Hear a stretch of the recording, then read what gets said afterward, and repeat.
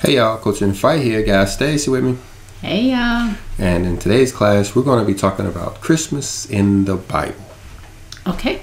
Christmas in the Bible. We're going to be looking at various verses from the scripture as we try to find where Christmas is in the Bible. It's in the Bible? Well, different parts of it we're going to find here. We're going to find verses that talk about the tree and the ham and Okay. the gifts and the nativity scene and even Santa Claus and how we go to church. Mm-hmm. It's kind of spread out, but it's actually in the Bible. All right. The thing is, it's not looked upon as a good thing. Right. Mm-hmm. Like the first verse we'll look at in Revelation chapter 11 and verse 10 is talking about after they had killed those two witnesses, how they celebrated by sending each other gifts. Right. Matter of fact, go ahead and read that. Okay. This is Revelation 11 and 10. And they that dwell upon the earth shall rejoice over them and make merry, and shall send gifts one to another, because these two prophets tormented them that dwelt on the earth. So, this is the only scripture that we can find in the New Testament that refers to Christmas at all. And what you have here is after they have killed the two witnesses, our father's witnesses, in the end times, killed them in the street, they started sending gifts to one another. Mm, okay. You notice right there in verse 10 where it said they make merry. Right. That lets us know that these are Christmas gifts. So they basically had a Christmas party after they had killed the two witnesses. So this would have taken place around what we know as the month of December. Yeah, sometime around that month, we have a lot of prophecies about this earthquake that's also talked about in this chapter. I think Haggai prophesied about it happening around the month of December or the ninth month on the sacred calendar. So there is some relationship there. Mm-hmm. And we're going to see that again referring to this earthquake. But finishing up talking about these two witnesses, I think it's important to note how this implies that these two witnesses were actually speaking against Christmas. I mean, we killed them, and then the first thing we do is have a Christmas party. Mm-hmm. That's kind of in celebration. So they must have been doing something to hurt the people's feelings, at least when it comes to their Christmas celebrations. Right. And so we're going to see why as we find some of these other verses in the scripture. So that was talking about gifts. Now let's come over and talk about the tree, which we read about it in Jeremiah chapter 10. Mm-hmm. If you would go ahead and read verse 1. Hear ye the word which the Lord speaketh unto you, O house of Israel. We're going to find out that Israel and this Christmas celebration goes way back long before our Messiah was ever born here on the earth.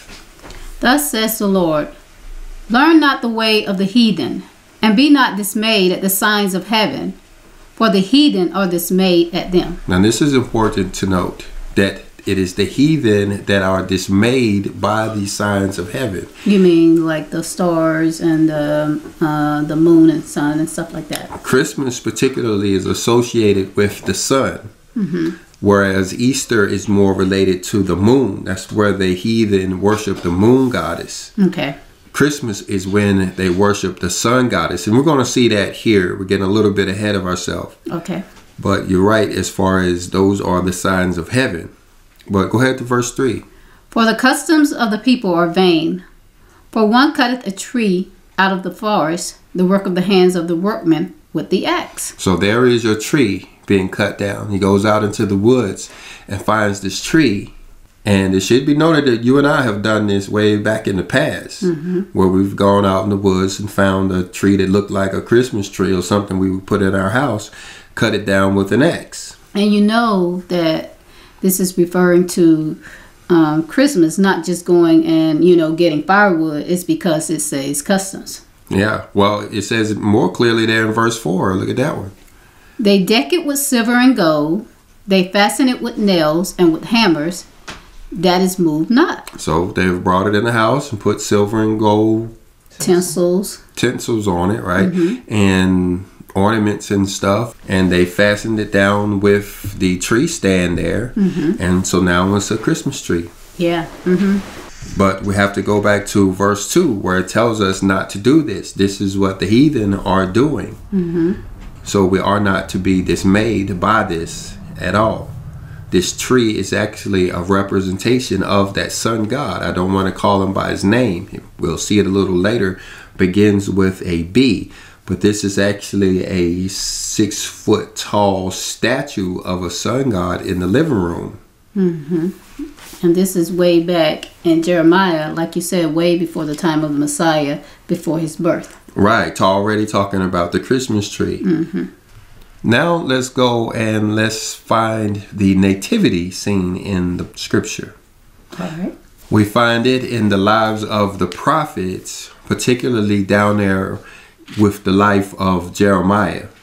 This book is all about what happened to the prophets, mm-hmm. what they did. Like in here, you see how Jeremiah helped the Egyptians with this, that, and the other snake bites and different stuff. Well, you see down there in verse 8 that he gave them a prophecy. Will you go ahead and read that? Okay. This Jeremiah gave a sign to the priests of Egypt that it was decreed that their idols would be shaken and collapse through a Savior, a child born of a virgin in a manger. So this is referring back to the great earthquake mm-hmm. that what we were talking about in Revelation chapter 11. Mm-hmm. is talked about all over the scripture and I think this is important to note as far as prophecy. We may do another class on this a little bit later. How he's prophesying about this child, this virgin in this manger mm-hmm. and this earthquake that's actually going to shake down all of their idols. Wherefore, even to this day, they revere a virgin giving birth and placing an infant in a manger. They worship. So this is your nativity scene. It is. It mm-hmm. actually started way back there in Egypt. Mm-hmm. Also during the time of Jeremiah. So Jeremiah has talked about the nativity scene mm-hmm. and he's also talked about the tree, Right. Which lets us know that this practice has been going on way before our Messiah ever came down to the earth. Mm-hmm. Let, let's finish this out and read a little bit more of this. And when Ptolemy the king inquired about the cause, they said, It is an ancestral mystery delivered to our fathers by a holy prophet, and we are to await the consummation of this mystery. So that's what the nativity scene is really all about.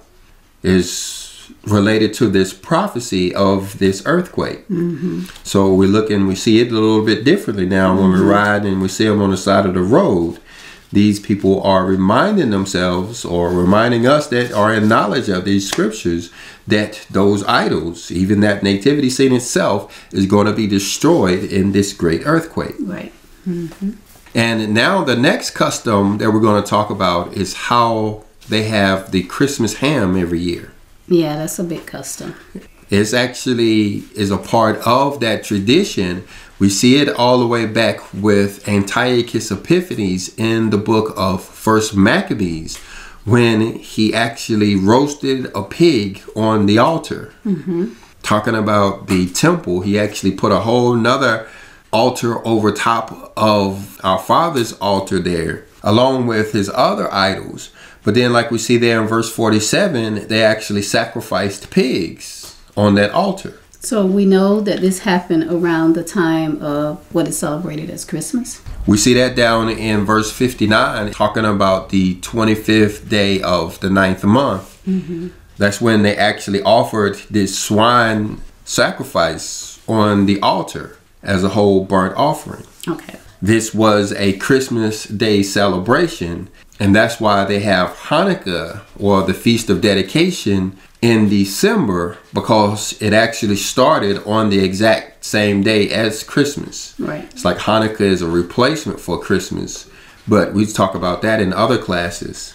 We just bring this verse up to let us know how the pig or the ham has actually been a part of the Christmas celebration before our Messiah. Right.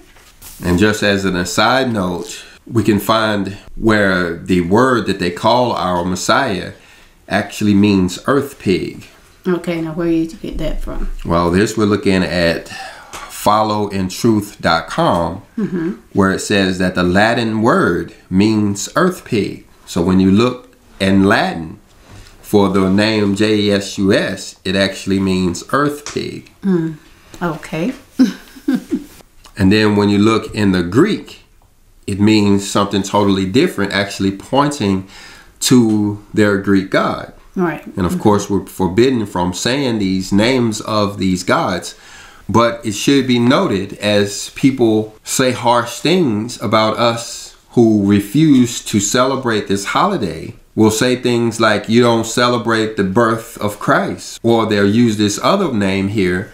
But what they're talking about is celebrating this pagan god. That's the day that they actually celebrate this pagan god. That's what Antiochus Epiphanes was doing back there. He actually built a statue in the temple for this god. Right. Mm -hmm. And you see how it actually goes way deeper than that because you have all of these names being related back to the same person. You have the J word, the Z word, the B word, and even a whole nother J word here. These are all pointing us or trying to point us back to their pagan gods. Right. It just depends on what culture you're actually talking about. And we see over here in Judges chapter 2 what it was called back there in the Bible. Matter of fact, read verse 12. And they forsook the Lord God of their fathers, which brought them out of the land of Egypt, and followed other gods, of the gods of the people that were round about them, and bowed themselves unto them, and provoked the Lord to anger. And we see those names down there in verse 13. Mm-hmm. These are those gods. You have the B word there, which is talking about the sun god. And like we said, that one is related to Christmas. And then you have the A word there, which is pointing to Easter Right. or the moon god. Mm-hmm. But notice here how it says that these people actually celebrated these holidays or worshiped these gods just to provoke our Lord to anger Right. to make him upset. Mm-hmm. That's the purpose of these holidays.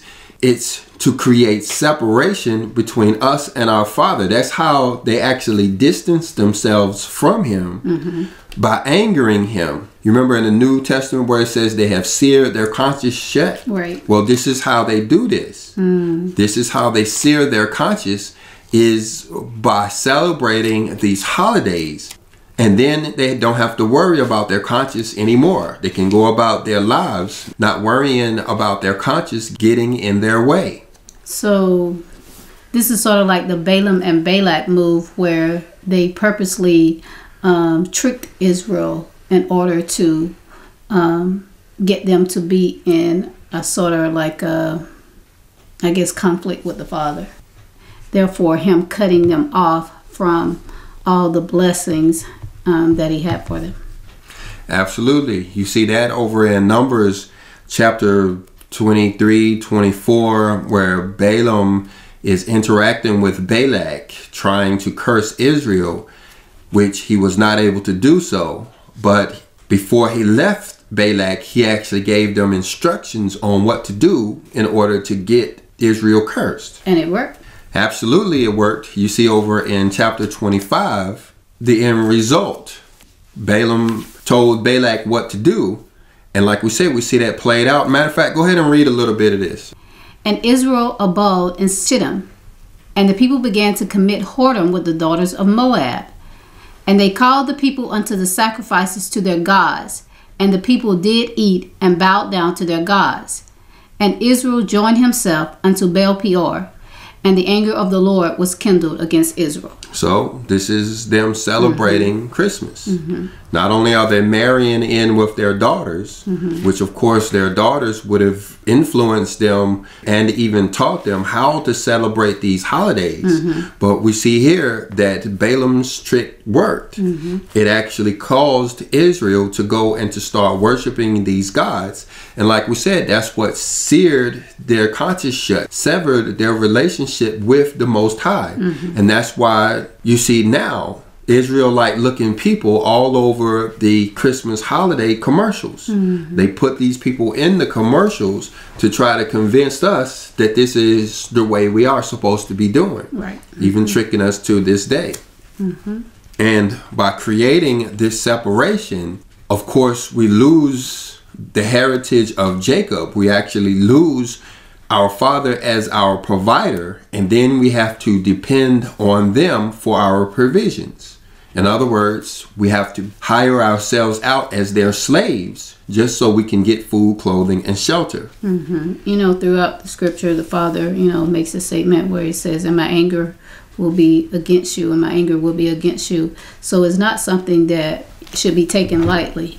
It's something that you know the father takes very seriously about angering himself, um, and you know he also says that he will not um, allow us to worship him and other gods being that he is a jealous God for our for our love, not that he's you know the jealous in the way that we think of jealousy, but for our um, our love and our adoration of him as Father.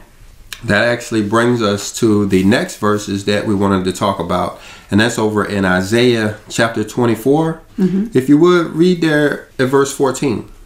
They shall lift up their voices; they shall sing for the majesty of the Lord. They shall cry aloud from the sea. So here, these people are singing at the top of their voices to our Father. Mm-hmm. But go on. Wherefore glorify ye the Lord in the fires, even the name of the Lord God of Israel in the isles of the sea. So it's kind of like they're singing Christmas carols here a little bit, mm-hmm. or hymns at least. But go on to verse 16. Look at our Father's response to all of this joyous singing. From the uttermost part of the earth have we heard songs, even glory to the righteous. But I said, My leanness, my leanness, woe unto me. The treacherous dealers have dealt treacherously.